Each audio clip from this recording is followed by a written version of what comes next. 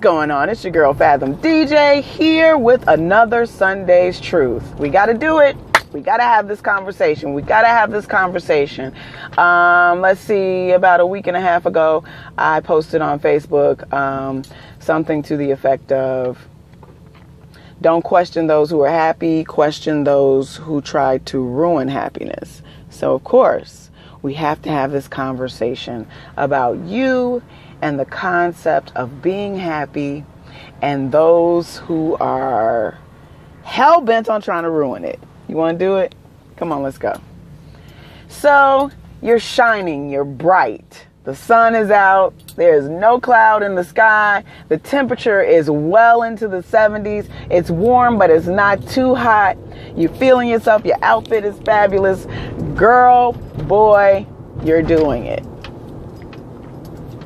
people see your glow, they see your shine. Some people start to smile. They're reflecting your shine, they're reflecting your good spirited, good energy kind of day.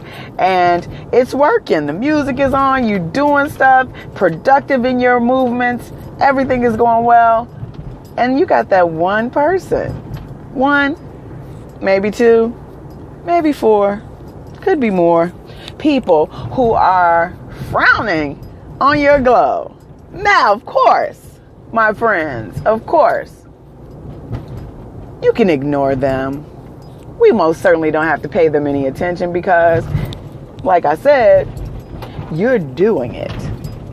The issue is when they start to sabotage. Now, it is most certainly okay for them not to have to feel obligated because I'm not big on obligations, especially as it pertains to um, the concept of liking something that you really don't. I'm really big on you being true to that.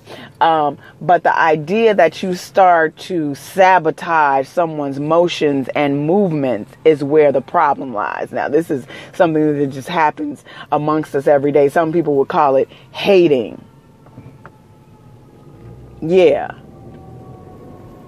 for you to be unhappy about somebody else's happiness.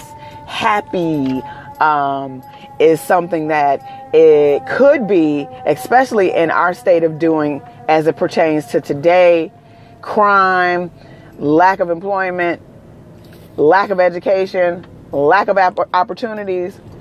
Happy could be hard to come by so when you find those folks who are going through their day and they're buzzing and they're making good energy, something has to be wrong with you that you would seek to destroy it. So we want to talk to those people who seek to destroy happy because we got to maybe diagnose you. We might have to bury you. That might have to happen. But anyway, so yeah, so what is up with that? The concept that I can come into a space with good energy, that you can look at my timeline and see something happening and moving and it doesn't sit well in your spirit to the point that you got to figure out how you going to sabotage my situation. I ran into that a couple weeks ago. Everybody was doing that thing. Somebody wasn't happy about not being included or not having enough information or what have you. And so it must have been boiling, hurting, moving in their spirit to the point that when everybody started to get ready to leave the situation, they found a way to throw a monkey wrench, a monkey wrench, all up in the video, all up in the motion of the movement. Because why? They're not happy. And whose fault is that? Not ours. Mm-mm. That's something deeper, deeper inside of you that you have made the determination that you don't want to deal with. But when you start to infringe on other people's joints, this is when it becomes problematic for the socials of it, for the society, for the community of it. When you start to infringe on the fact that little kids have to go to school and they may have to walk to school happy skipping parents with them, dropping them off or whatever, and you make the determination that you just want to roll through and jack up some stuff, infringe on their right to go to school again we got to talk about that. We got to figure out how to organize against you. So this is where that concept comes from. The those who create unhappiness. We got to try to isolate y'all because it's a virus, it's a plague, it's toxicity at its finest.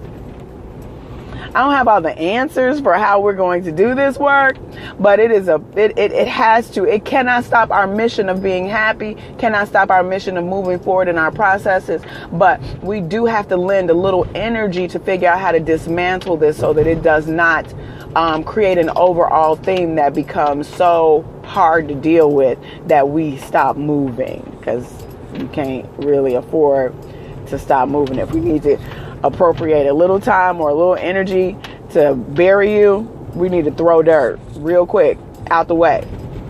Cut because that's that toxicity thing that you're doing and it's infringing on everybody's movements. You get it? You got it? It's quick. It's almost six minutes. I'm going to get this girl down where she needs to be. I'm going to send you cosmic kisses and well wishes to your day and week. This is Libra season, honey. And if you didn't know, because I deleted my birthday, I am a Libra. And it is our time to shine. All of those who are in favor of this movement of the Libra shining while I'm driving down King Drive, raggedy as heck in Bronzeville. Y'all need to work that out. Um, if anybody wants to second the motion of the Libra shine and the season, you might want to go ahead and get on it because it's happening. Fathom DJ, find me in your webosphere, hashtag finding Fathom DJ. You can do all of those things, and I will see you soon. Space. Yeah.